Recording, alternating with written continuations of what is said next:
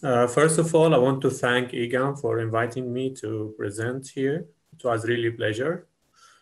Uh, I am Reshed Abohalaka. I, um, I have a master's degree in um, health management and disasters. I also have a master's degree in pharmacology, and right now I'm pursuing my PhD in pharmacology. I had um, a working experience with WHO before for almost like four years. Right now, I'm only working in Hacettepe University. Uh, my uh, research on refugees topic, right now it's in mental health topic. Maybe I can uh, talk about it in the next session, but right now I want to talk about the language barriers. It's a huge topic. I worked on it on WHO and I worked on it in um, Hacettepe University as well. Uh, first of all, I want to talk about the situation of refugees. Uh, then I will go to the language barriers. I will explain a case study here in Ankara about the Syrian refugees. And after that, we will talk about the pandemic and what changed in the aspect of language barriers. Uh, I will present in English, but you can feel free to ask in Turkish or in the discussions or the questions later, you can ask in Turkish as well. I just feel more comfortable to present in English usually. Uh, Turkey before the refugee crisis, Turkey have a huge experience actually with refugees movement. The Syrian refugees wasn't the first time uh, that happens Turkey. However, because um, these refugees uh, experience wasn't uh, huge enough as the Syrian refugees now. So Turkey doesn't have a very huge experience with uh, response to such a huge number of refugees as the well. Another factor is that the previous refugees who came to Anatolian uh, lands before, most of them, they have um, similar culture and similar language to the ones in Turkey. For this reason, I guess the Syrian refugees was a little bit a new experience uh, for the for Turkish government. Uh, I also want to take talk about the healthcare system in Syria before the war. If we're gonna talk about the Syrian refugees, it's really important to know what's special about the Syrian refugees the healthcare system in Syria wasn't that much powerful and was under growing pressure even before the war. That means like the healthcare uh, system couldn't provide healthcare services to all of the citizens even before the war. And that's because the government wasn't very supporting of the uh, health system. Also, there was too many chronic diseases almost 10% of the Syrian population was having um, uh, at least one chronic disease. The health professionals number was insufficient as well. And uh, lastly, the most important one, uh, there was regular, irregular distribution of medical and healthcare services among geographical areas. It means like in big cities or in cities, there was moderate healthcare systems However, in villages or in the countrysides, the healthcare system was uh, very, very much worse than in the cities. And in some cities here in Turkey now, when there's refugees that they are coming from uh, countryside in Syria, the, you can notice that there's a huge difference in their health status between uh, the refugees who were coming from the big cities. The refugee crisis, I'm not gonna talk about it a lot. I guess most of the most of you has heard about it a lot in the seminars. Uh, it started in 2011. Uh, almost five million people uh, immigrated, but that's like four years ago. So this number is not very accurate now. In Turkey, the last documented number was 3.6 millions, but I think now it's more than 4 millions, especially that there's many refugees who are not registered.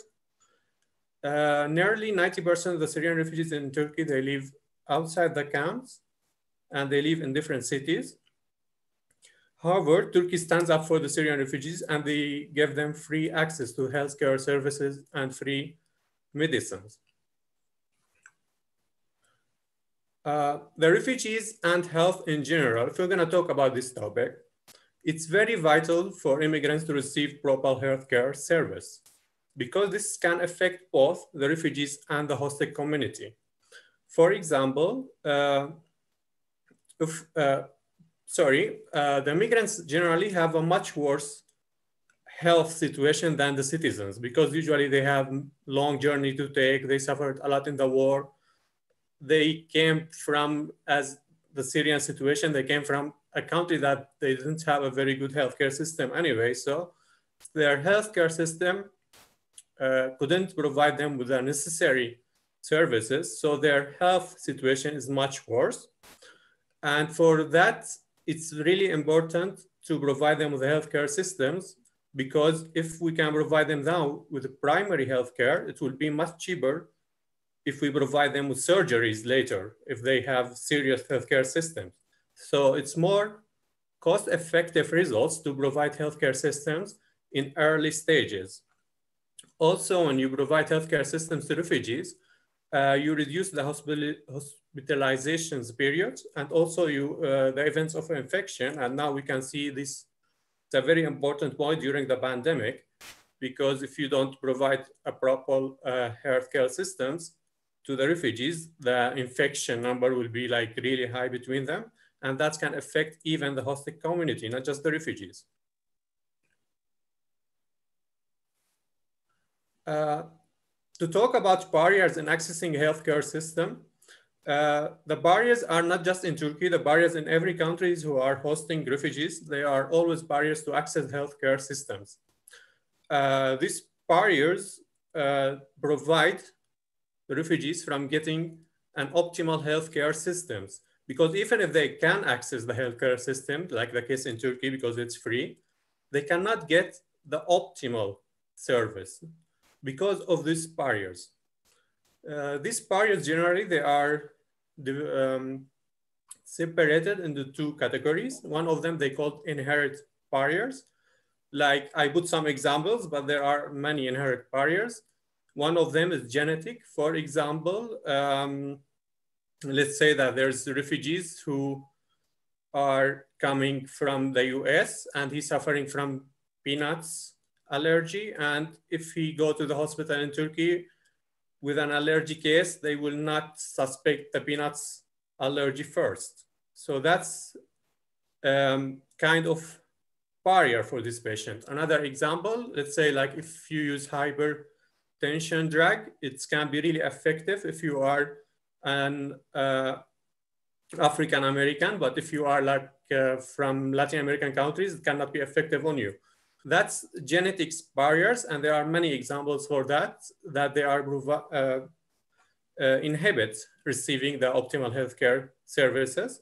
The cultural one, which I really see that's really important the case of the Syrian refugees in Turkey, because you know some of the communities they prefer to have uh, if they are male, they prefer to have a male doctor. If they are females, they prefer to have females doctors.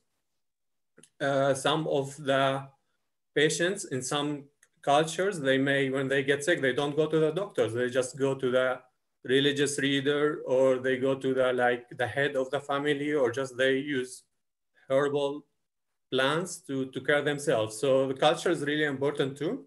And the language uh, barrier is inherent barrier as well. And we will talk about this barrier much in details in the next slides.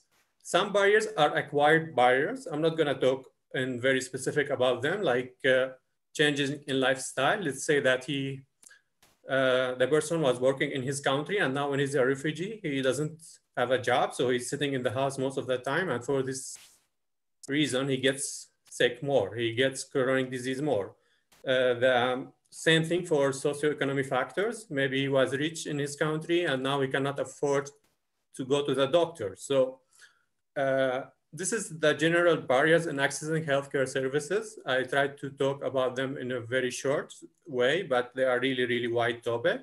And now I'm just gonna focus on the language barrier.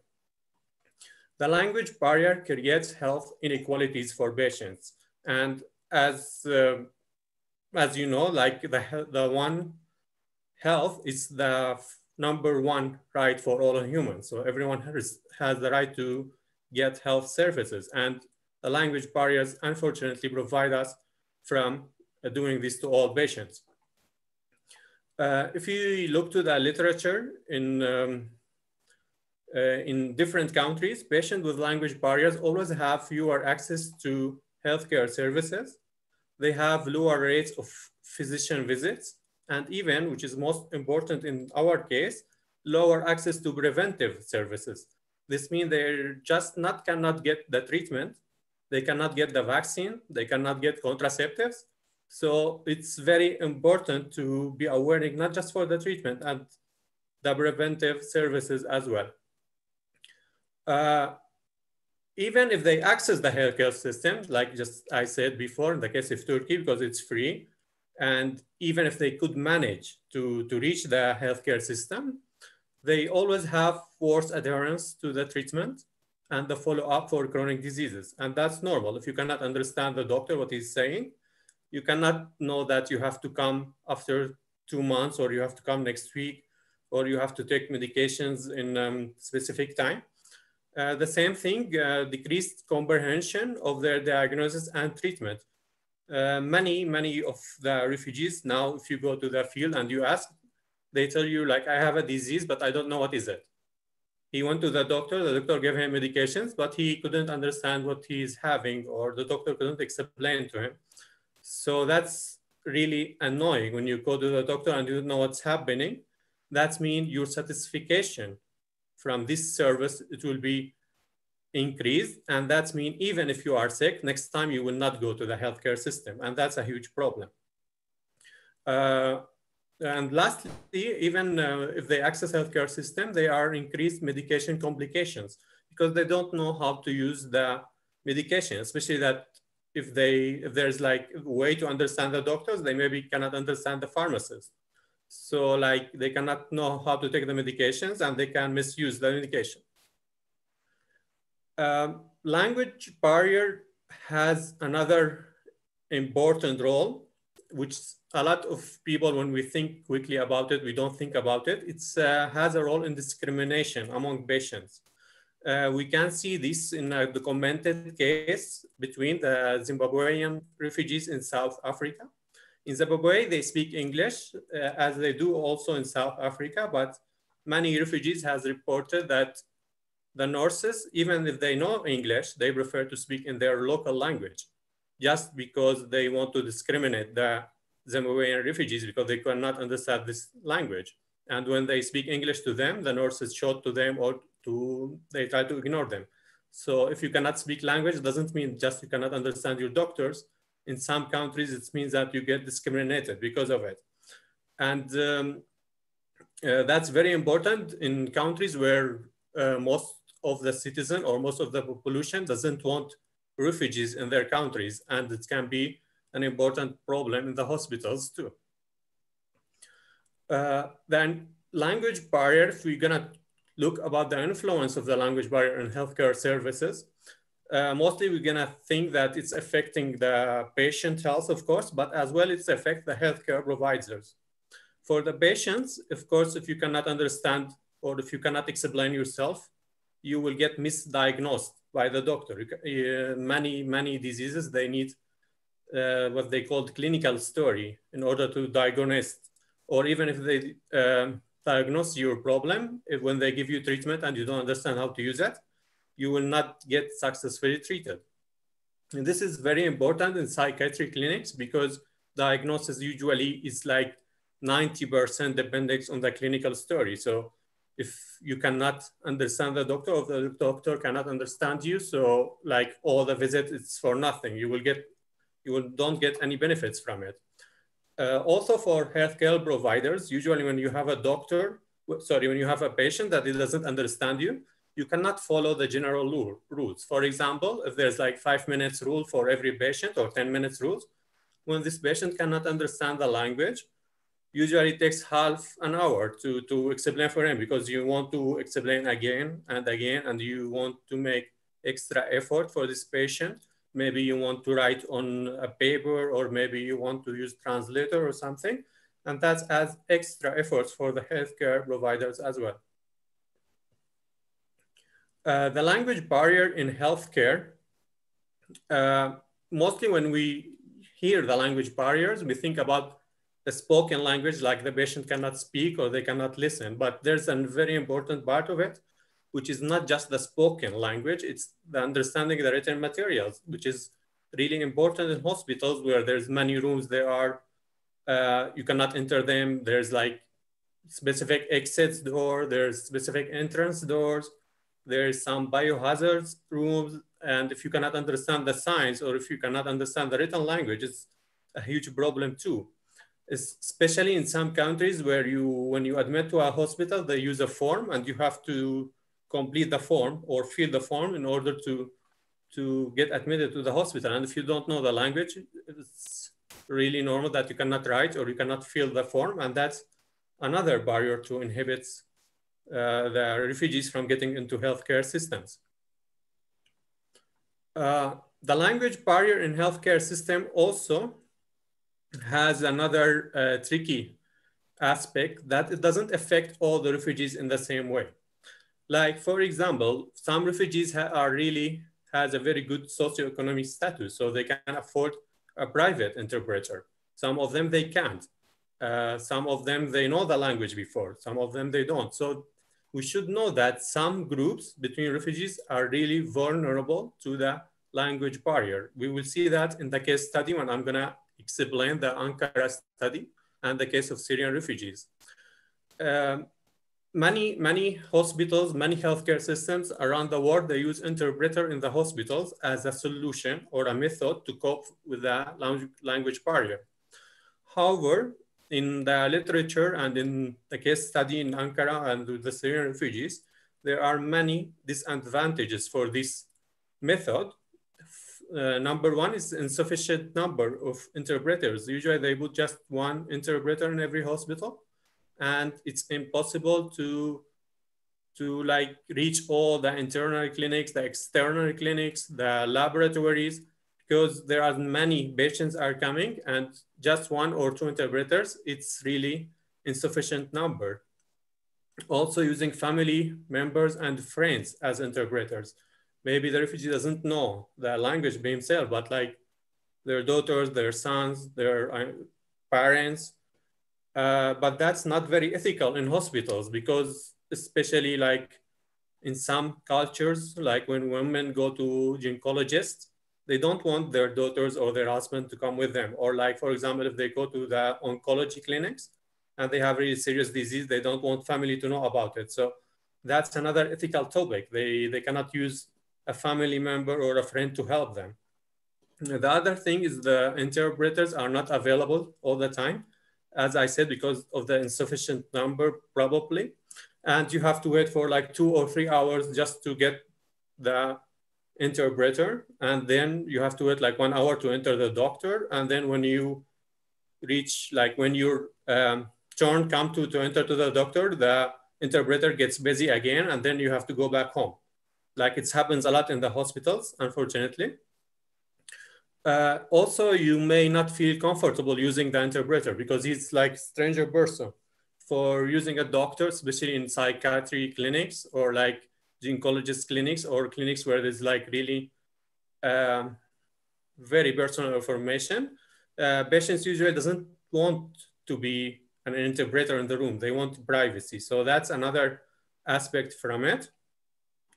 Also, the most important thing is patient-interpreter relationship. That's a huge problem. We can see it in small societies because usually the interpreters, they are not from the hosting community who knows the refugees language. Usually they are the refugees who learn the hosting community language. So in, in small communities, there's a big chance that this interpreter knows the people who comes to the hospital outside the hospital in the community. And then when they come to the hospital, they have to share very personal, very private information. And maybe this interpreter will take it to, to say it in the community to, to their families and huge problems will happen just because of the interpreters. Also the gender, as I mentioned before, some culture, they prefer to have interpreter from the same gender. If they are women, they prefer to to have a woman interpreter. If like if they are female, they prefer to have female interpreter. If they are male, they prefer to male, a male um, interpreter. Another uh, huge problem we face it to the interpreters, they are not retelling the stories pricelessly or explaining medical terms. For um, like this problem, we see it in every hospital. Most of the interpreters, they are not medical interpreters. They are just people who knows the language. So when they try to translate the medical terms, they usually use different uh, topics, different uh, terms, and that leads to misdiagnosis and incorrect treatment also at least in some studies to anxiety between the patients because they they always care that they will not get the right treatment because of that. Uh, another thing that uh, in, in the literature, we can see that using the same interpreter in the hospitals is very beneficial because people, as I said, they don't like to see strangers all the time. But also in some another studies, there's still um, some negative effects for this um, interpreter, even if it's the same person. As a conclusion, uh, appropriate solutions are needed to deal with the language challenges, but much is most important is that we need to do follow-ups to see if these solutions are working or not on the real life, because you know theoretically and uh, practically they are really different. Sometimes uh, you think that theoretically this solution is really effective, but in real life, there's many factors that um, doesn't allow this fact, uh, this solution to be successful. Um, and if we cannot manage to deal with the language challenges and the language barriers, no matter what, how much strong healthcare system we have, no one will get to the healthcare systems. Uh, now I want to explain for you the example study. The example study, the title was Determination of Perceived Language Barriers in Accessing Healthcare Services according to the Syrian refugees visiting two training and research hospital in Ankara. This study was um, uh, done like three, three years ago in two hospitals in Ankara uh, one of the hospital was Ankara Training and Research Hospital. The other one was Numune Training and Research Hospital. I think this hospital is closed now. Uh, we we applied like um, a survey of 38 questions with 22 one participants in these two hospitals. Um, Syrian refugees in Ankara, there are about 70,000 per, uh, people in uh, Ankara. Mostly they live in Altındağ neighborhood. And Ankara Training and Research Hospital is much close to them. And also they have two interpreters. For this reason, we have many participants in Ankara Hospital more than Numune Hospital.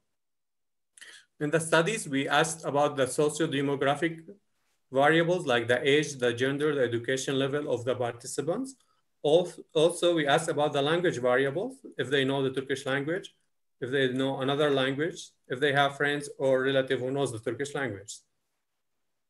As a result, uh, as I said, we have more participants in Ankara than Numune Hospital. In the middle age, they was 36 years old, so they were uh, relatively young.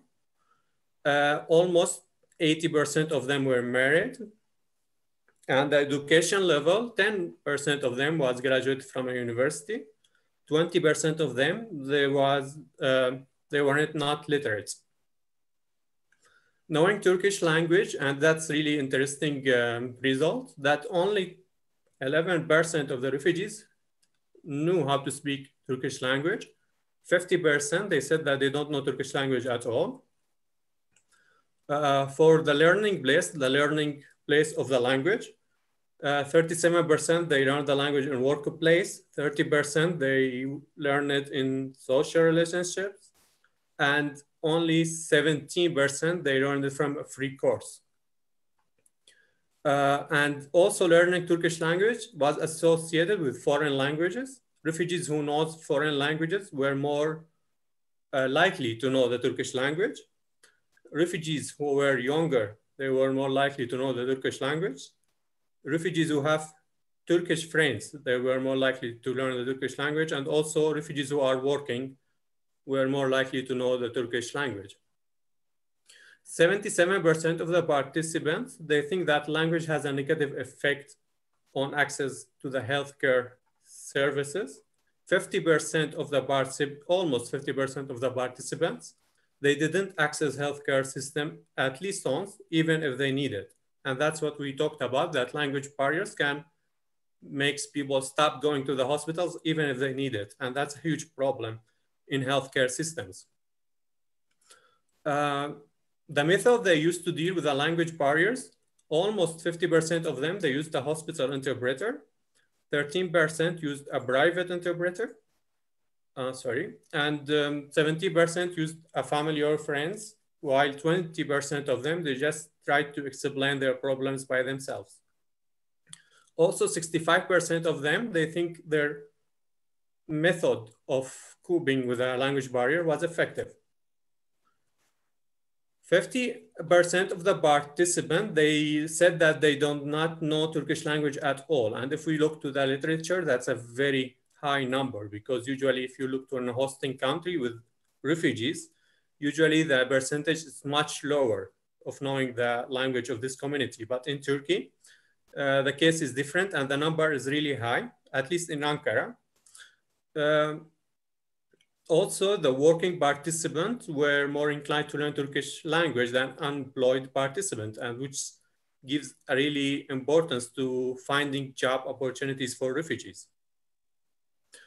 Uh, also, perception of language as a barrier was more common among participants who were married, jobless, had no Turkish speaking relatives, or had diseases that's that's result was really interesting because these groups of refugees usually having uh, difficulty to learn the language. Like for example, if you can if you don't have a job, you cannot connect with people, and it's normal to not learn the language.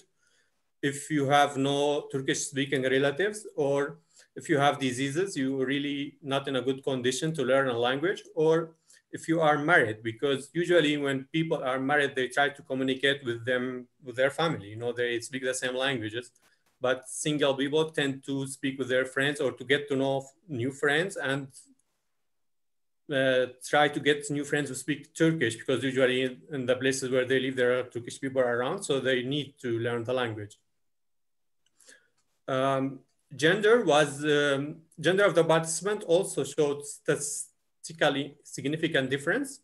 Uh, as I mentioned before, uh, female participants used to use um, uh, the friends and family members because they didn't like to use the interpreter, uh, where males participants prefer to use the hospital interpreters more. And that was really effective because the interpreters, they were males in the hospital. And as you can see, the females prefer to use their friends or the family member. Uh, also, Syrian refugees who had physically or mentally diseases, they used to use the hospital interpreters more than the rest because they used to come to this hospital a lot. And that's mean they know where is the interpreters, they know how to use them. And that's mean um, um, not, or like not giving written materials to the refugees can be a barrier for using the interpreters as well. Uh, now I wanna talk about the pandemic we, we talked about the pre-pandemic area. That was, as I said, the study like three years ago. But now during the pandemic, a lot of things has changed. Mostly the healthcare system changed because W, since WHO declared COVID-19 as a pandemic, uh, the virus has left its severe impact on many healthcare systems in many countries. Some of the countries, they shut down all the, all the hospitals, all the healthcare systems, especially during uh, the first months of the pandemic. For that, healthcare facility, uh, facilities have adopted new measures to prevent the transmission of the virus. Some of this uh, measurement, like the use of telemedicine, which means like you cannot go to the doctor and uh, talk with a doctor face to face. You need just to call the doctor. I don't think they use it in Turkey too much, but like in Europe, that was the most used methods to access doctors and hospitals in, uh, in Western Europe, I guess, not in all of Europe. Um, also limiting entry to the patient only because usually uh, you can take, as I said, like a family member or a friend with you to the doctor. Now you cannot do that. And you need to stay far away from the doctor. You cannot talk from one meter or two meters away. You need to talk from sometimes 10 meters away from the doctor. Also, you need to use masks and face shields inside the hospitals, inside the clinics. And that's um, a new thing. It wasn't uh, obligatory to use uh, masks inside the hospitals before. Um, the language barrier has, has got much worse after the pandemic because of the COVID measurements. Like for example, patients cannot bring ad hoc interpreters. Ad hoc interpreters, it means the interpreters who are not professional or are not paid, like just someone you know, he knows the language, maybe a neighbor, maybe someone in the hospital, he knows the language and he came with you to translate for you. But now that's not possible because you need to enter the doctor just by yourself. You cannot uh, bring friends, you cannot bring family members. Uh, and that's even even if you can bring them maybe it's will put an extra risk on these persons and that's that's another uh, aspect of this um, issue also professional interpreters now they don't agree to work in high risk places like if you talk an interpreter to the hospital he wouldn't go there because like okay you're gonna pay me but like it's too much risky for me so it's a huge problem for people who used to use private interpreters. Using interpreters service remotely, like on the phone, sometimes they they use the interpreters in the phone, like the doctor called the interpreter or the patient called the interpreter. But that's not available in every country, especially in not very advanced countries. Also, if it's if it's available, it's a huge problem to talk through the phone and with the connection uh, problems with the charge of the phone. So it has many disadvantages as well. Uh, even if you can manage to find an interpreter who goes with you to the hospital, there are many, many challenges now during the pandemic and understanding a second language speech now is very challenging because you have to use social distancing. You have to talk with the doctor from at least like five meters away, and so you cannot hear very good. Is it, is it if it's a second language for you? The same thing if you are using masks, and the doctor is using masks, and that means like talking uh, now it's really challenging, and hearing is it's more challenging for the people who doesn't speak the language as a native language. Uh, especially if you we think about the patients who are COVID patients and they already have pneumonia and they cannot breathe very well. They have to take deep breath, uh, deep breath to, to speak. So can you imagine speaking a second language with, with diseases and with a mask and with a distance? So it's like understanding the language right now, it's really challenging. We need really a uh, quick solution to, to deal with the language barrier during the pandemic. So as a conclusion, uh, more sustainable solutions to cope with the language barriers are needed, as I said. Uh, some of the solution, I wrote just some of the solutions whose um, they were in, in the literature, like hiring bilingual healthcare providers who can, they can speak both languages. And that's what uh, we did in, in WHO like uh, four years ago. We hired not bilingual, but we hired um, doctors who can speak Arabic. They cannot, not all of them, they can speak Turkish, but most of them, they, all, all of them, they can speak Arabic. And in this uh, solution, a lot of people were more satisfied from the healthcare system rather than the interpreters because the doctor, if they can speak their own language, it's much uh, comfortable for them. Also, another solution is, is, increasing the level of language proficiency among immigrants. And that's um, like giving obligatory language courses to refugees, and they do it in some countries. Uh, you cannot get a refugee status if you don't learn the language. So some countries, uh, they uh, force you to learn the language. Uh, also, it's much, it's really necessary to have a better response to public health crisis, to have um, a plan to know how to do it before the crisis comes, because when the crisis comes, usually you don't have time to prepare, you don't have time to to like tell everyone what to do. So you need a, a plan before the crisis. You need to plan for everything, and you need to tell every like every um, healthcare provider how, what to do during the crisis. You need to do a training for them to know that they are really are doing this uh, during in a case of crisis or disaster. So uh, as I mentioned before, language barriers should be given more priority, particularly in societies where they are hosting a huge number of immigrants and refugees. Uh, thank you so much. That's what I wanted to present for you today. I hope I didn't take a lot of time. I don't have, okay, I don't have much next to me.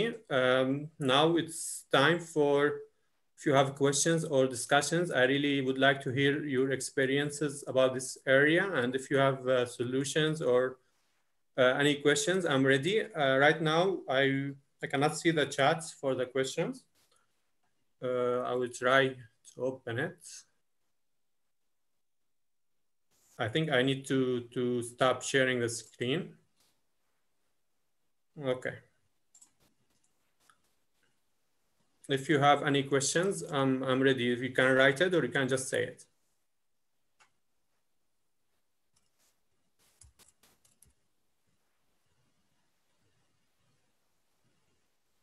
Hi, thank you for your presentation. I want to ask you something about the possible solutions what do you think about hiring uh, Syrian nurses and doctors? Uh, as I know, uh, it wasn't possible them to work in Turkey when they first came, but the situation changed now. I don't know anything about it. Um, the Turkish healthcare system has a requirement that you, they cannot work in the system, like in the governmental hospitals at least, if you are not Turkish. So you need to be Turkish as a one requirement to work in the hospitals, the governmental one, not the private one. The private ones you need, or the governmental ones, you need to, to have an equation of your um, undergraduate degree to be able to work in that. And that's, it's a huge problem for the refugees because most of them, they don't have their degrees with them. They just run away for their lives.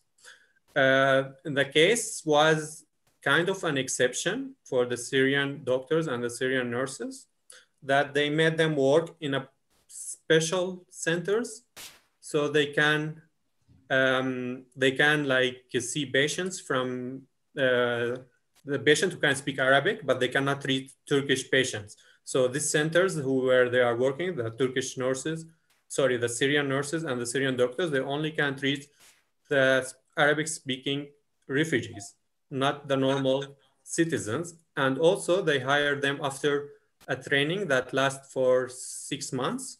So they give them a training and they give them an exam and they already, they just hired the people who passed the exam.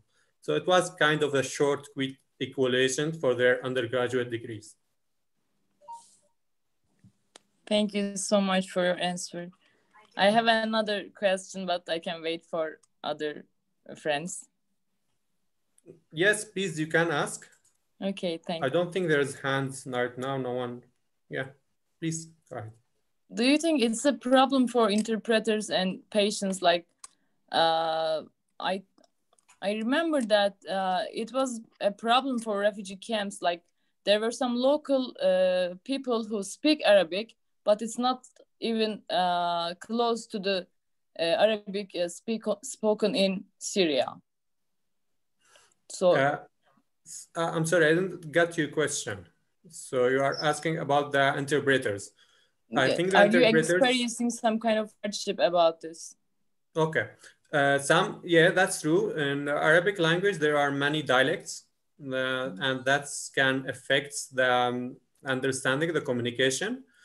Um, I like the cases I saw in Turkey. Usually, there are Syrian interpreters, but in some in some cities, I guess there's Arabic interpreters who are not Syrian. They are speaking uh, different dialect. And in some cities, especially in the southern cities of Turkey, there are Turkish interpreters who used to speak Arabic before, but they speak a different Arabic than the Syrian one. That's true. Uh, it can make um, it can make um, uh, an extra uh, burden for the patient and for the doctors but uh, I think interpreters, like usually, they should be um, they have, should have a certificate to be an interpreter, especially in medical um, uh, systems, because you need to know the terms, you need to know um, you need to know some some aspects, how to do, how not to do, how to intervene, how not to intervene. So if uh, part of this certificated program, it's to be understood, well understood. So uh, in the next step, I think they are started to give certifications to the interpreters in the hospitals. So I think in, during these steps, the people who cannot be understood, they will be just uh, outside. Thank think, you so much again. You're welcome. I think there is a question we can you can ask about. Oh, sorry. Okay, this is from. I can ask something if admin, I guess. No yeah. First of all, thanks for your presentation. It was really enlightening in many sense. I wanted to ask about this uh, telemedicine issue. It was really interesting, but I was curious, are there no any uh, digital alternatives in this sense? Like interpreters, they have many, uh, they have many challenges in terms of like social communities and uh, not having, even finding one is problematic. So what do you think there that uh, could we I mean, improve application in a health specialized way or like more like a digital solution hired by hospitals? Do you think is it possible or would it be efficient? I'm sorry, I couldn't catch the last part of your question because the internet was not stable. Okay, I just said, will it be efficient? Do you think these digital solutions like having an application okay. or anything on the mobile phone which can be easily accessed?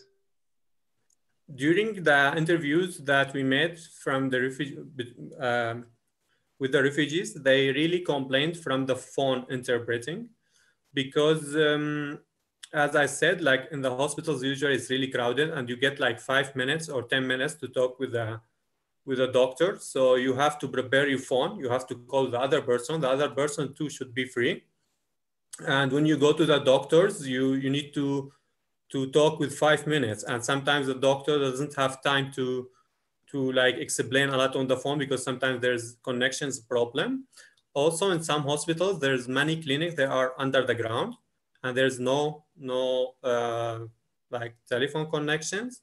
So you cannot you cannot use the phone in the, such clinics especially that uh, many many of the hospitals they use the external clinics the first floor or underground. So uh, it wasn't very uh, effective solution for that telemedicine. It's um, telemedicine like the medicine on the online or on the phone.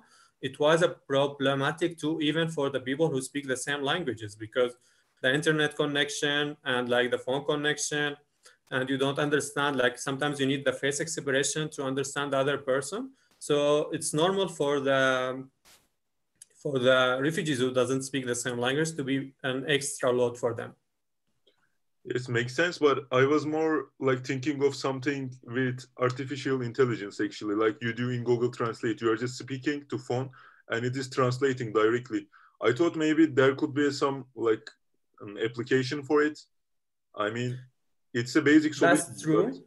But... I think in medicine, that's an extra hard because a mistake that can make by the app or a mistranslating by the app can lead to a huge problem. So I don't think any of the healthcare systems or any of the authorities will start to trust the using the artificial intelligence translating, especially that many, many diseases that, especially the rare diseases, they have very rare names and that's, you cannot find it in normal like in, in the current technology. Maybe of course in the future there will be such thing, but right now, I don't think there's any system in the world who trusts the artificial intelligence in translating. Yeah, makes sense. Thanks a lot. You're welcome.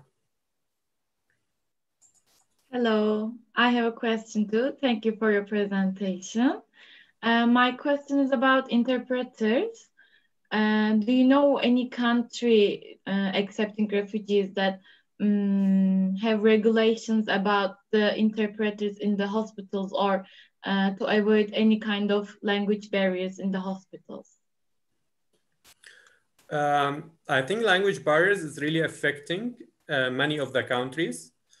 In in US, you need to be certificate to work in the hospitals, and you need to have, I guess, undergraduate degree in translating in um, in Europe because of the refugee crisis, the Syrian refugee crisis. The last year they start to hire uh, some interpreters who are not certified, but they, I guess they give them a uh, course like for six months before they start working in the hospitals. Um, I guess uh, the problem in, in all Europe is similar.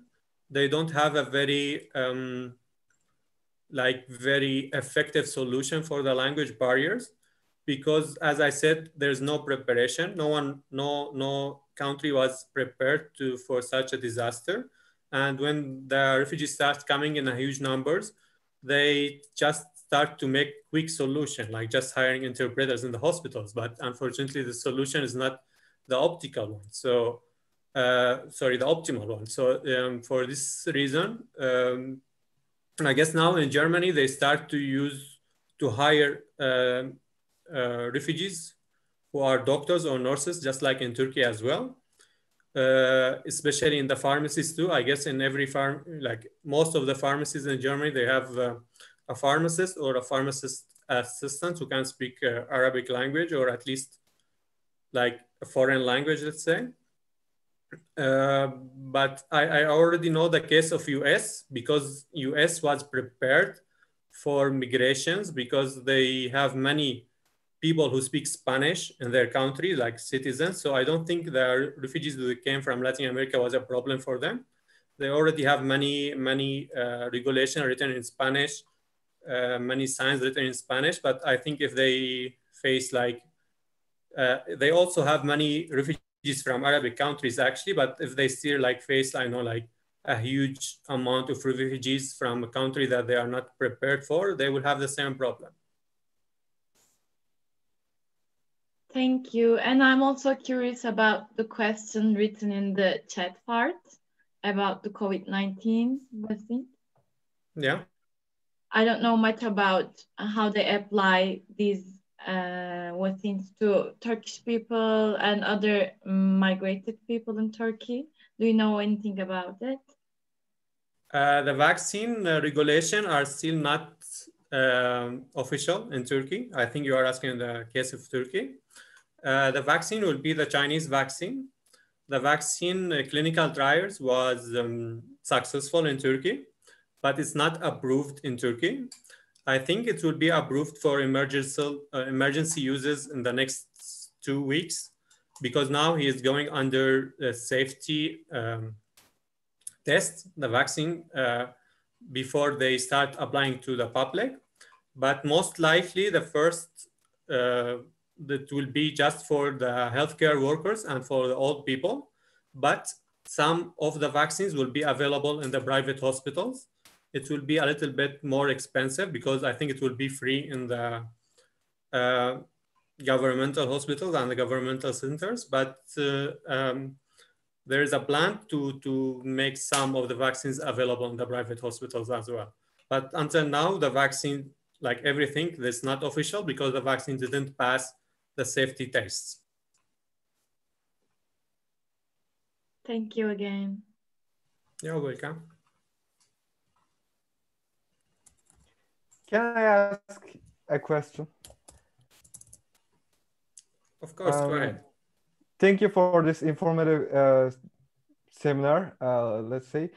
And I have, I would like to ask about the project of uh, Minister of uh, Minister of Sağlık Bakanlığı Health. Uh, there was a project uh, which is funded by EU, European Union, and it was called uh, Sıhhat. maybe you know. as I understand, you on you only include the government governmental hospitals in your research.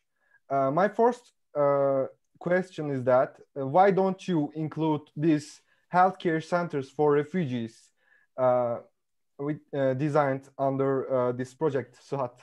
And uh, do we have any clear data about the Sıhhat, Sıhhat projects? Like how many uh, Syrian doctors we have now and how many C Syrian doctors we had in the past?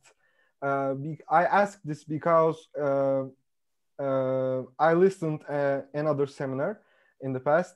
Uh, we are listening a lot of seminars in this period, in this COVID times.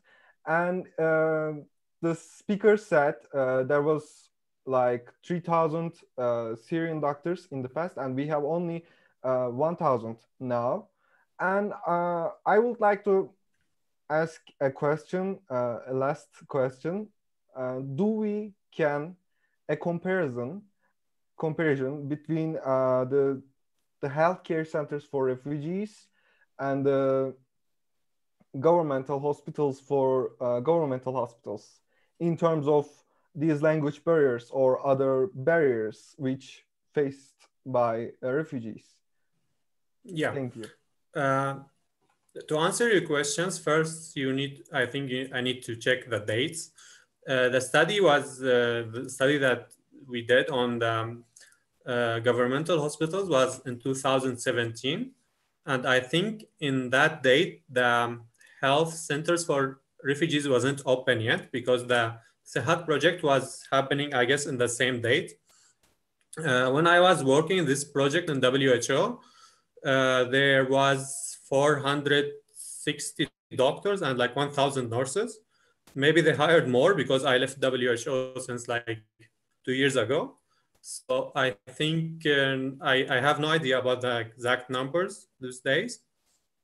Uh, but I think, yeah, they are mostly more than 400 doctors and 1,000 nurses because that's the one stage of the project. And then they take more, uh, more like, I mean, they hired more people.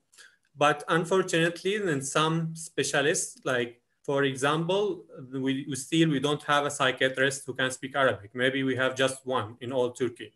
So some some like oncologists or some like very specialist professionals, we still they are still not available, and that's a really challenging uh, part because. Um, as I said, uh, being a psychiatrist, it's a very important part. You cannot use interpreters there, and you really need someone who can speak the language. And that's, I guess, that's one of the uh, most challenging aspect of the language barrier now in Turkey because there is no psychiatrist who can speak Arabic.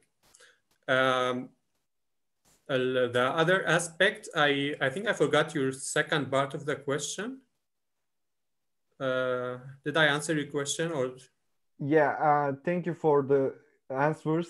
Uh, and the second question is that uh, can we do a comparison between uh, okay. the healthcare systems for refugees and uh, governmental uh, hospitals in terms of these barriers. Okay. Now, for example, and I really clearly understand uh, the situation now because you said uh, we were uh, do this research in 2017, and yes, the healthcare systems, healthcare centers established also in the same time. Yeah, yeah. Uh, that's true. Um, I think WHO has initial data about the satisfaction in these centers. They didn't publish it yet. They they still working on it or they will publish it soon. I have no idea. But since two years ago, they had they conducted a study during in these centers to see how much satisfactory is the surface there. But if we look to the literature in um, in in general, like in other countries, you can find a comparison between using interpreters and using a bilingual healthcare providers. And you can find like there's no much very strong evidence, but you can find kind of an evidence that hiring a bilingual healthcare providers, it's much better than using an interpreters in the hospitals. By the way, if someone want to ask in Turkish language, it's okay. I can understand perfectly. I just cannot speak very fluent. O zaman çok teşekkür ederim. Rica ederim. May I ask something too? Yeah, of course. Yeah, so mine is more like a methodological one. So as I understood that you collected your data like three years ago, and we came like you also like listed some issues post COVID, and so I was wondering if this um, this list depends on just assumptions or you collected it, you know, you conducted another interview sessions or anyone else in literature already done this, or are you planning to do it to compare before COVID and after COVID? Uh, first, I didn't there's no study after COVID about the language barriers, not in the literature, not until two months ago. Uh, so this was, um, it's not, uh, it's kind of uh, interviews, like personal interview. It's of course, it's not an evidence because it doesn't represent all the people who are suffering from the language barrier. It's just the personal experiences. And also it's, uh, some of them, they are um, like, uh, you, I collect them from the news, from the, uh, they called case report studies. But this, all of these studies, all of these reports, they are just indicators. They are not evidence. Even, even the studies in the governmental hospitals we did, it's not an evidence. It doesn't represent all Syrian refugees in Turkey. It's represent just the refugees who visiting the hospitals. So we cannot talk about evidence. We can just talk about uh, probability. So if we need an evidence, we need a huger study. We need um, to take many, many uh, participants in the study and we need to do a better methodology. The, the, the, our study doesn't provide an evidence, but it's provide essential information about the situation in the, um, in the governmental hospitals in Ankara. So we needed to do it fast. We needed to do it uh, that's why we couldn't use a very huge methodology in this study. I see. So are you planning to do it or to just have a comparison? In the language barrier, now we don't have any study, as I said in the starting so you, of this you're seminar. not planning to either? Because now I'm working on mental health. We have studies on mental health in refugees during the pandemic, and we have study on mental health situation in um, healthcare providers during the pandemic. Unfortunately, I'm not working in the language barriers in um, in this time, but maybe in the future, yeah, I can. It can be a really interesting topic. Okay. Yeah, I see. Thank you. You're welcome.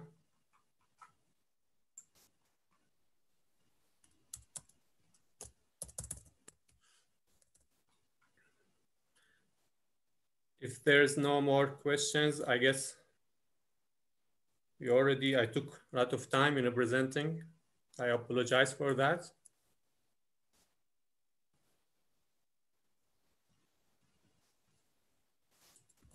I guess there is no question. Uh,